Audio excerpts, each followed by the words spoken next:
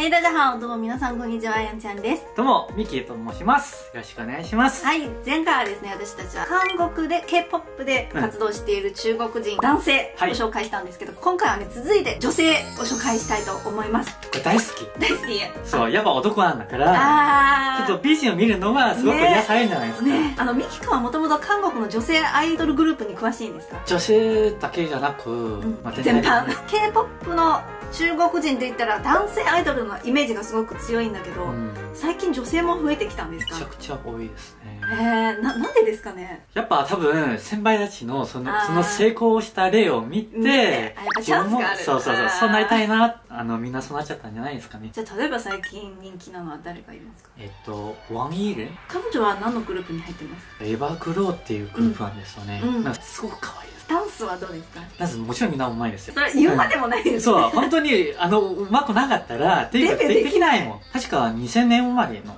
子なんですよ。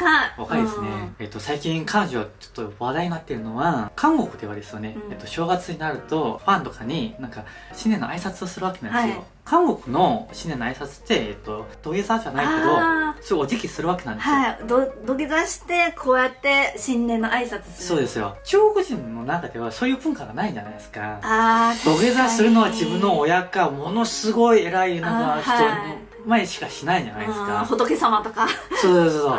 誰かを舐めてるとかじゃなくて調子乗ってるわけじゃないけあどー。そういう習慣がないからみんな他のメンバーはそういうふうにちゃんとお辞儀したのに、幹事は立っててなんかやったみたいんですよ。ちょっと炎上しちゃったんです、はい。これは、まあ、確かに難しい問題ですね。そうあのこの問題は彼女だけじゃなく、うん。実はあの韓国にいるあの中国人めっちゃいっぱいいるんじゃないですか。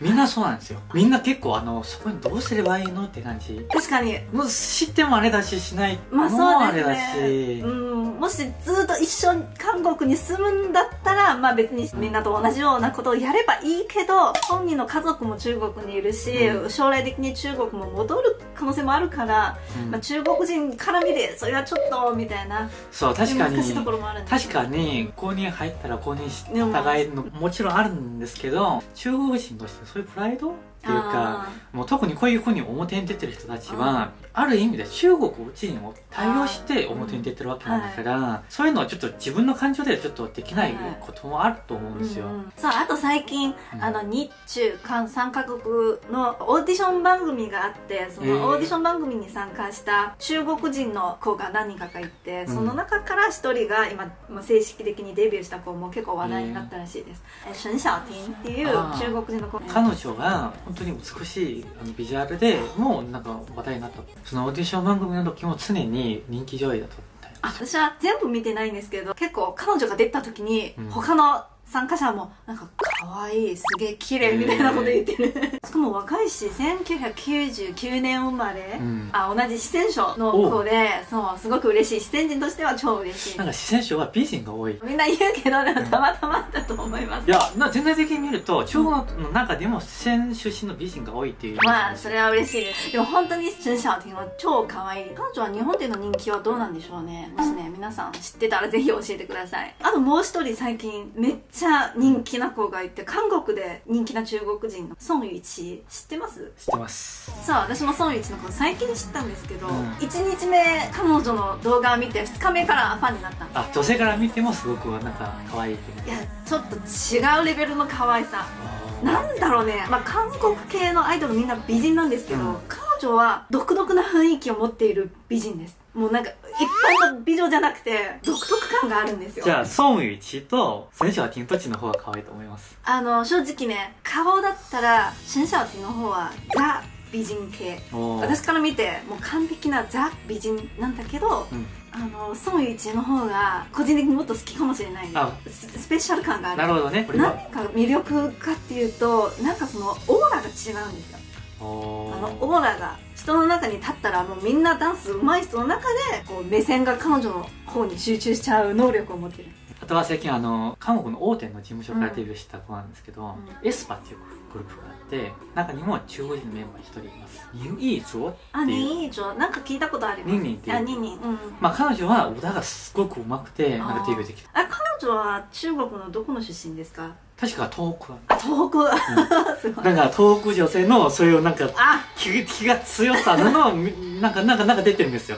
はい。なので彼女のあの歌唱力もなんかなんかパワーがあるんですよ、あパワフルなうん。歌声で、なんか中国の女性北の方と南の方結構雰囲気が違うんじゃない違うんですよね。ね、うん。でさっきの春小婷四川の子だから、なんかこう可愛らしい感じがする柔らかいねそうそうそう。でニンニンは東北女性らしさが出ててそうそうそう。すごくパワフルで女王様に自信を持っている。そううそう。うそう。そうあと宇宙少女っていうアイドルグループが。宇宙少女。え你不知道吗ブラえそのまあそっか。多分ね韓国ではそんなにメジャーなアイドルグループじゃないけどその中に3人の中国人のメンバーがいて、まあ、韓国で活動してた時にそんなに有名じゃなかったけど中国に帰って中国のあのプロデュース101に参加してうん。一気に超人気になったなるほど。那个孟美岐もうめっちえ知らないの？中国で超有名。孟美岐还有吴宣仪、まあ、中国の番組に出てから中国ですごく有名になった。そうあとその宇宙少女の中にチェンシャオっていう中国人のメンバーもいて彼女のすごいところはもともと新体操を習あった人だから韓国では一時期は話題になりました。あまあできる人間は何でもできるですね。なんかその韓国のアイドルグループの競争の激しさもわかるんですね、もうただ単にダンスが上手いだけじゃ通用しないんです、うん。なんか武術とか耐身体操とかそういううあのフェンシングが特技を持っていないとなんか難しいなっていう。とあのチェンシャオはうん。結構いろんな番組で、うん。あのワンワンイーボうんうんーとなんかいろいろやってるからそれもなんかカップルなのか？みたいなそうスキャンダルえーじゃないけど、なんかそういう噂うん。も出てるから、それで中国でちょっと話題になってます。ワンイーボーはやっぱ人気だわ。日本でも超人気です、あとはソン・チェン。あ。まあ韓国でも大活躍してたんです FX のね、うん。そうですね。彼女は、まあ、中国人の女子アイドルの元祖の方かな、ね、まあ、ソン・チェンは今中国に帰って女優さんになって、うん。いろんな番組とかに出ててすごく、まあ、活躍しています。そうですね。なんかこと言うのちょっと申し訳ないんですけど、うん。みんななんか韓国で一回デビューしてそれを踏み台にして結局中国。で活動しようとしてるんですよね、はい。まあ、その気持ちは分からなくもないんですけど。うんまあ、あともう一個なんか理由としてはやっぱ今中国のその練習生制度とか、うんあるいはその訓練のレベルはまだ韓国とか日本ほど高くないっていうのもあるかもしれないです。まあそうですね、僕も韓国のエンターテインメントに対してすごく羨ましいなって思うんですよ実は、あ中国もあんだけ人数がいてとんでもない才能を持ってる人もいっぱいいるはずなのに、完全にメイドインチャイナのグループが世界を打ってってほしいねのはすごくあるんですよ、ーそうですね。それ今まで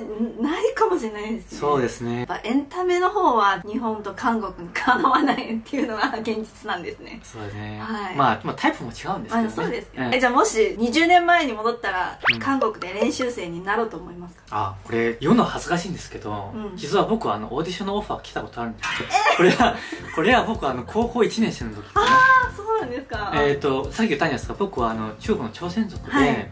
常にテレビとかは韓国のエンターテインメントを見て育ったって、うん。でうちの妹はねちょっとふざけてて僕の写真とかを SM タウンのあオーディションに送ったんですよ、えー。そしたらメールが返ってきたんですよ うん、じゃあオーディションをちょっと一回受けてみませんか、的な、はい。いや俺なんかできるわけねえだろと思って行かなかったんです行かなかった。はい、ももし、うん。変な話ね、もし僕そこでちゃんとレッスンを受けてもしデビューできたとしたら多分エクソのメンバーになれた。世代かもしれないです。すごいルーハンと話してるかもしれない。す俺かロハンかって感じ。いやいやいや。ごいなめっちゃ嬉しい気持ちになった。いやでもあのみんな本当にさっき言った通り今デビューしてる子たち見たら、うん。とんでもない才能持ってるじゃないですか歌ももちろんそうなんだけえでもそれど練習したから、まあ、何年間その練習重ねてようやくデビューできる。多分当時のミミキコンもちゃんとまあ45年ぐらい練習すれば今のあのレベルにいけるかもしれないんですよ。絶対無理ですよ。これは生まれつきのものなんですよ。いやーそんなことないです。練習練習。努力も大事かもしれないですけど